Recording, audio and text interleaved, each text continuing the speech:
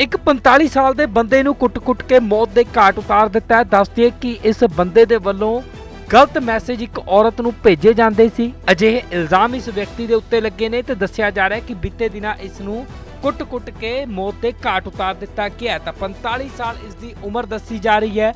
ਗੁਰਮੇਲ ਸਿੰਘ ਵਜੋਂ ਇਸ ਦੀ ਪਹਿਚਾਣ ਹੋਈ ਹੈ। ਤਾਂ ਮਾਨਸਾ ਤੋਂ ਇਹ ਮਾਮਲਾ ਸਾਹਮਣੇ ਆਇਆ, ਜਿੱਥੇ ਕਿ ਔਰਤ ਨੂੰ ਗਲਤ ਮੈਸੇਜ ਭੇਜਣੇ ਇੱਕ ਵਿਅਕਤੀ ਨੂੰ ਕਾਫੀ ਮਹਿੰਗੇ ਪੈ ਗਏ ਨੇ।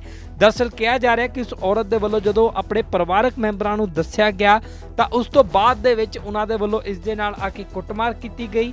ਕੁੱਟਮਾਰ ਕਰਨ ਤੋਂ ਬਾਅਦ ਇਹ ਕਾਫੀ ਜ਼ਿਆਦਾ ਗੰਭੀਰ ਰੂਪ ਨਾਲ ਜ਼ਖਮੀ ਹੋ ਜਾਂਦਾ ਹੈ ਤੇ ਜ਼ਖਮੀ ਹੋਣ ਤੋਂ ਬਾਅਦ ਦੱਸਿਆ ਜਾ ਰਿਹਾ ਹੈ ਕਿ ਇਸ ਨੂੰ ਜਦੋਂ ਹਸਪਤਾਲ ਦੇ ਵਿੱਚ ਦਾਖਲ ਕਰਵਾਇਆ ਗਿਆ, ਤਾਂ ਉੱਥੇ ਇਲਾਜ ਦੇ ਦੌਰਾਨ ਦਮ ਤੋੜ ਦਿੰਦਾ ਹੈ। ਤਾਂ ਦੱਸ ਦਈਏ ਕਿ ਇੱਕ ਵਿਅਕਤੀ ਦੇ ਵੱਲੋਂ ਪਹਿਲਾਂ ਤਾਂ ਔਰਤ ਨੂੰ ਗਲਤ ਮੈਸੇਜ ਕੀਤੇ ਗਏ ਤੇ ਫਿਰ ਜਦੋਂ ਉਸ ਦੇ ਨਾਲ ਕੁੱਟਮਾਰ ਕੀਤੀ ਜਾਂਦੀ ਹੈ ਤਾਂ ਉਸ ਦੀ ਮੌਤ ਹੋ ਜਾਂਦੀ ਹੈ। ਮਾਨਸਾ ਤੋਂ ਇਹ ਮਾਮਲਾ ਸਾਹਮਣੇ ਆਇਆ ਹੈ। ਫਿਲਹਾਲ ਪੁਲਿਸ ਦੇ ਵੱਲੋਂ ਮਾਮਲੇ ਦੀ ਜਾਂਚ ਸ਼ੁਰੂ ਕਰ ਦਿੱਤੀ ਗਈ ਹੈ। ਇੱਕ 45 ਸਾਲ ਦੇ ਬੰਦੇ ਨੂੰ ਕੁੱਟ-ਕੁੱਟ ਕੇ ਮੌਤ ਦੇ ਘਾਟ ਉਤਾਰ ਦਿੱਤਾ ਹੈ। ਦੱਸਦੀ ਹੈ ਕਿ ਇਸ ਬੰਦੇ ਦੇ ਵੱਲੋਂ ਗਲਤ ਮੈਸੇਜ ਇੱਕ ਔਰਤ ਨੂੰ ਭੇਜੇ ਜਾਂਦੇ ਸੀ। ਅਜਿਹੇ ਇਲਜ਼ਾਮ ਇਸ ਵਿਅਕਤੀ ਦੇ ਉੱਤੇ ਲੱਗੇ ਨੇ ਤੇ ਦੱਸਿਆ ਜਾ ਰਿਹਾ ਹੈ ਕਿ ਬੀਤੇ ਦਿਨਾਂ ਇਸ ਨੂੰ ਕੁੱਟ-ਕੁੱਟ ਕੇ ਮੌਤ ਦੇ ਘਾਟ ਉਤਾਰ ਦਿੱਤਾ ਗਿਆ ਤਾਂ 45 ਸਾਲ ਇਸ ਦੀ ਉਮਰ ਦੱਸੀ ਜਾ ਰਹੀ ਹੈ। ਗੁਰਮੇਲ ਸਿੰਘ ਵਜੋਂ ਇਸ ਦੀ ਪਹਿਚਾਣ ਹੋਈ ਹੈ। ਤਾਂ ਮਾਨਸਾ ਤੋਂ ਇਹ ਮਾਮਲਾ ਸਾਹਮਣੇ ਆਇਆ, ਜਿੱਥੇ ਕਿ ਔਰਤ ਨੂੰ ਗਲਤ ਮੈਸੇਜ ਭੇਜਣੇ ਇੱਕ ਵਿਅਕਤੀ ਨੂੰ ਕਾਫੀ ਮਹਿੰਗੇ ਪੈ ਗਏ ਨੇ। ਦਰਅਸਲ ਕਿਹਾ ਜਾ ਰਿਹਾ ਕਿ ਉਸ ਔਰਤ ਦੇ ਵੱਲੋਂ ਜਦੋਂ ਆਪਣੇ ਪਰਿਵਾਰਕ ਮੈਂਬਰਾਂ ਨੂੰ ਦੱਸਿਆ ਗਿਆ, ਤਾਂ ਉਸ ਤੋਂ ਬਾਅਦ ਦੇ ਵਿੱਚ ਉਹਨਾਂ ਦੇ ਵੱਲੋਂ ਇਸ ਦੇ ਨਾਲ ਆ ਕੇ ਕੁੱਟਮਾਰ ਕੀਤੀ ਗਈ। ਕੁੱਟਮਾਰ ਕਰਨ ਤੋਂ ਬਾਅਦ ਇਹ ਕਾਫੀ ਜ਼ਿਆਦਾ ਗੰਭੀਰ ਰੂਪ ਨਾਲ ਜ਼ਖਮੀ ਹੋ ਜਾਂਦਾ ਹੈ ਤੇ ਜ਼ਖਮੀ ਹੋਣ ਤੋਂ ਬਾਅਦ ਦੱਸਿਆ ਜਾ ਰਿਹਾ ਹੈ ਕਿ ਇਸ ਨੂੰ ਜਦੋਂ ਹਸਪਤਾਲ ਦੇ ਵਿੱਚ ਦਾਖਲ ਕਰਵਾਇਆ ਗਿਆ ਤਾਂ ਉੱਥੇ ਇਲਾਜ ਦੇ ਦੌਰਾਨ ਦਮ ਤੋੜ ਦਿੰਦਾ ਹੈ। ਤਾਂ ਦੱਸ ਦਈਏ ਕਿ ਇੱਕ ਵਿਅਕਤੀ ਦੇ ਵੱਲੋਂ ਪਹਿਲਾਂ ਤਾਂ ਔਰਤ ਨੂੰ ਗਲਤ ਮੈਸੇਜ ਕੀਤੇ ਗਏ ਤੇ ਫਿਰ ਜਦੋਂ ਉਸ ਦੇ ਨਾਲ ਕੁੱਟਮਾਰ ਕੀਤੀ ਜਾਂਦੀ ਹੈ ਤਾਂ ਉਸ ਦੀ ਮੌਤ ਹੋ ਜਾਂਦੀ ਹੈ। ਮਾਨਸਾ ਤੋਂ ਇਹ ਮਾਮਲਾ ਸਾਹਮਣੇ ਆਇਆ ਹੈ।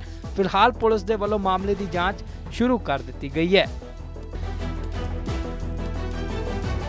ਇੱਕ 45 ਸਾਲ ਦੇ ਬੰਦੇ ਨੂੰ ਕੁੱਟ-ਕੁੱਟ ਕੇ ਮੌਤ ਦੇ ਘਾਟ ਉਤਾਰ ਦਿੱਤਾ ਹੈ। ਦੱਸਦੀ ਹੈ ਕਿ ਇਸ ਬੰਦੇ ਦੇ ਵੱਲੋਂ ਗਲਤ ਮੈਸੇਜ ਇੱਕ ਔਰਤ ਨੂੰ ਭੇਜੇ ਜਾਂਦੇ ਸੀ। ਅਜਿਹੇ ਇਲਜ਼ਾਮ ਇਸ ਵਿਅਕਤੀ ਦੇ ਉੱਤੇ ਲੱਗੇ ਨੇ ਤੇ ਦੱਸਿਆ ਜਾ ਰਿਹਾ ਹੈ ਕਿ ਬੀਤੇ ਦਿਨਾਂ ਇਸ ਨੂੰ ਕੁੱਟ-ਕੁੱਟ ਕੇ ਮੌਤ ਦੇ ਘਾਟ ਉਤਾਰ ਦਿੱਤਾ ਗਿਆ ਤਾਂ 45 ਸਾਲ ਇਸ ਦੀ ਉਮਰ ਦੱਸੀ ਜਾ ਰਹੀ ਹੈ।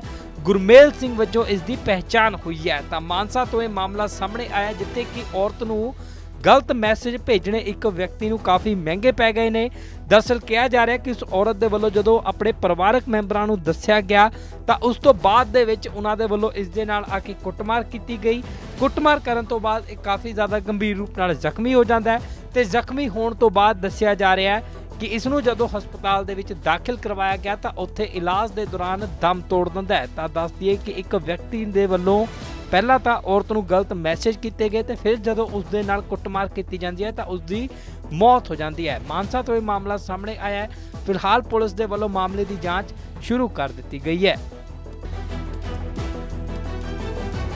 ਇੱਕ 45 ਸਾਲ ਦੇ ਬੰਦੇ ਨੂੰ ਕੁੱਟ-ਕੁੱਟ ਕੇ ਮੌਤ ਦੇ ਘਾਟ ਉਤਾਰ ਦਿੱਤਾ ਹੈ। ਦੱਸਦੀ ਹੈ ਕਿ ਇਸ ਬੰਦੇ ਦੇ ਵੱਲੋਂ ਗਲਤ ਮੈਸੇਜ ਇੱਕ ਔਰਤ ਨੂੰ ਭੇਜੇ ਜਾਂਦੇ ਸੀ। ਅਜਿਹੇ ਇਲਜ਼ਾਮ ਇਸ ਵਿਅਕਤੀ ਦੇ ਉੱਤੇ ਲੱਗੇ ਨੇ ਤੇ ਦੱਸਿਆ ਜਾ ਰਿਹਾ ਹੈ ਕਿ ਬੀਤੇ ਦਿਨਾਂ ਇਸ ਨੂੰ ਕੁੱਟ-ਕੁੱਟ ਕੇ ਮੌਤ ਦੇ ਘਾਟ ਉਤਾਰ ਦਿੱਤਾ ਗਿਆ ਤਾਂ 45 ਸਾਲ ਇਸ ਦੀ ਉਮਰ ਦੱਸੀ ਜਾ ਰਹੀ ਹੈ। ਗੁਰਮੇਲ ਸਿੰਘ ਵਜੋਂ ਇਸ ਦੀ ਪਹਿਚਾਣ ਹੋਈ ਹੈ। ਤਾਂ ਮਾਨਸਾ ਤੋਂ ਇਹ ਮਾਮਲਾ ਸਾਹਮਣੇ ਆਇਆ, ਜਿੱਥੇ ਕਿ ਔਰਤ ਨੂੰ ਗਲਤ ਮੈਸੇਜ ਭੇਜਣੇ ਇੱਕ ਵਿਅਕਤੀ ਨੂੰ ਕਾਫੀ ਮਹਿੰਗੇ ਪੈ ਗਏ ਨੇ। ਦਰਅਸਲ ਕਿਹਾ ਜਾ ਰਿਹਾ ਕਿ ਉਸ ਔਰਤ ਦੇ ਵੱਲੋਂ ਜਦੋਂ ਆਪਣੇ ਪਰਿਵਾਰਕ ਮੈਂਬਰਾਂ ਨੂੰ ਦੱਸਿਆ ਗਿਆ, ਤਾਂ ਉਸ ਤੋਂ ਬਾਅਦ ਦੇ ਵਿੱਚ ਉਹਨਾਂ ਦੇ ਵੱਲੋਂ ਇਸ ਦੇ ਨਾਲ ਆ ਕੇ ਕੁੱਟਮਾਰ ਕੀਤੀ ਗਈ। ਕੁੱਟਮਾਰ ਕਰਨ ਤੋਂ ਬਾਅਦ ਇਹ ਕਾਫੀ ਜ਼ਿਆਦਾ ਗੰਭੀਰ ਰੂਪ ਨਾਲ ਜ਼ਖਮੀ ਹੋ ਜਾਂਦਾ ਹੈ ਤੇ ਜ਼ਖਮੀ ਹੋਣ ਤੋਂ ਬਾਅਦ ਦੱਸਿਆ ਜਾ ਰਿਹਾ ਹੈ ਕਿ ਇਸ ਨੂੰ ਜਦੋਂ ਹਸਪਤਾਲ ਦੇ ਵਿੱਚ ਦਾਖਲ ਕਰਵਾਇਆ ਗਿਆ ਤਾਂ ਉੱਥੇ ਇਲਾਜ ਦੇ ਦੌਰਾਨ ਦਮ ਤੋੜ ਦਿੰਦਾ ਹੈ। ਤਾਂ ਦੱਸ ਦਈਏ ਕਿ ਇੱਕ ਵਿਅਕਤੀ ਦੇ ਵੱਲੋਂ ਪਹਿਲਾਂ ਤਾਂ ਔਰਤ ਨੂੰ ਗਲਤ ਮੈਸੇਜ ਕੀਤੇ ਗਏ ਤੇ ਫਿਰ ਜਦੋਂ ਉਸ ਦੇ ਨਾਲ ਕੁੱਟਮਾਰ ਕੀਤੀ ਜਾਂਦੀ ਹੈ ਤਾਂ ਉਸ ਦੀ ਮੌਤ ਹੋ ਜਾਂਦੀ ਹੈ। ਮਾਨਸਾ ਤੋਂ ਇਹ ਮਾਮਲਾ ਸਾਹਮਣੇ ਆਇਆ ਹੈ। ਫਿਲਹਾਲ ਪੁਲਿਸ ਦੇ ਵੱਲੋਂ ਮਾਮਲੇ ਦੀ ਜਾਂਚ ਸ਼ੁਰੂ ਕਰ ਦਿੱਤੀ ਗਈ ਹੈ।